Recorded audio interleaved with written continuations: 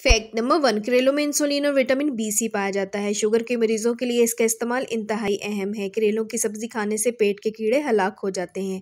करेलों का जूस पीने से बनाई तेज़ होती है और चेहरे का रंग साफ़ होता है और वज़न भी कम होता है। इसका इस्तेमाल जिसम को ताकत देता है और कब्ज़ को दूर करता है।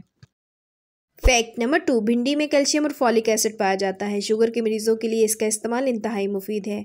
ये कोलेस्ट्रॉल लेवल को कम करती है और खून में मौजूद शुगर लेवल को भी कंट्रोल करती है।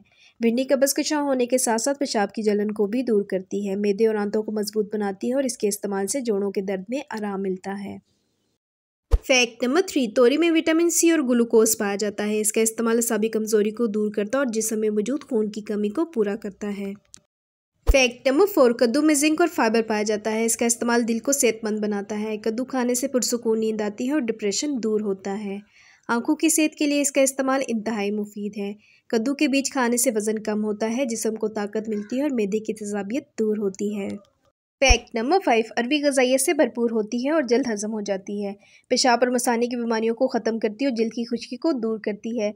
दूध पिलाने वाली माओ के लिए अरबी का इस्तेमाल इंतहाई मुफीद है।